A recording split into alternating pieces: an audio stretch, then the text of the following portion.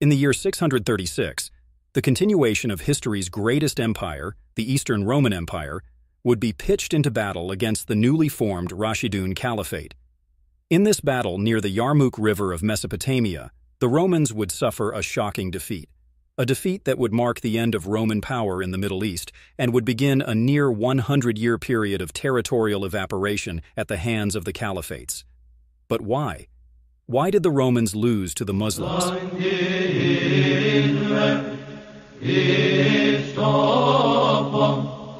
Prior to the Battle of Yarmouk, the Roman Empire had been engaged in a multi-decade war with their rivals of the Sassanid Empire, known as the Last Great War of Antiquity.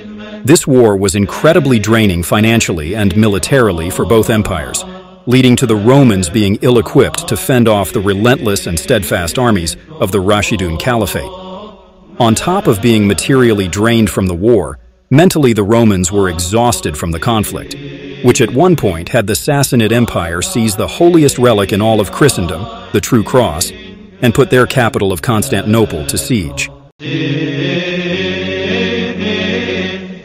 Within the Eastern Roman Empire, there existed a religious tension between the Miaphysite Copts of Egypt and the Orthodox Church, who deemed them heretics. This tension often forced Roman emperors to navigate a delicate balance between seeking religious compromise with the Copts and occasionally resorting to persecuting them. During the reign of Emperor Heraclius, the Orthodox Church intensified its persecution of the Copts. Consequently, when the Muslims arrived in the mid-600s, some Copts and eventually the entirety of Egypt would pledge their loyalty to the Caliphate. The loss of Egypt would be catastrophic for the Romans, as the region served as the empire's breadbasket. Without Egypt, the empire faced significant challenges in providing adequate food for its citizens and soldiers.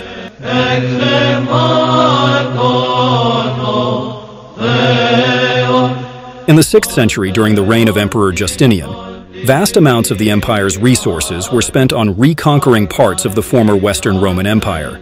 These efforts evaporated the imperial treasury and the empire's manpower. In return for these efforts, the empire acquired new borders to defend against the barbarians of Western Europe, leading to more resources and manpower being spent on a region that provided little value to the empire, as it had been thoroughly ravaged by decades of war. So when the Rashidun Caliphate invaded the Roman Middle East, the Romans were only able to use their regional troops, and when they finally assembled troops from across the empire to deal with the Caliphate, it was too late.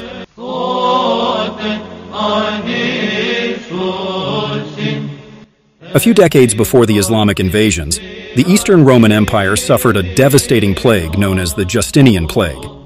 The severity of the plague varies from historian to historian, but on the high end, it is estimated to have killed 15 million people.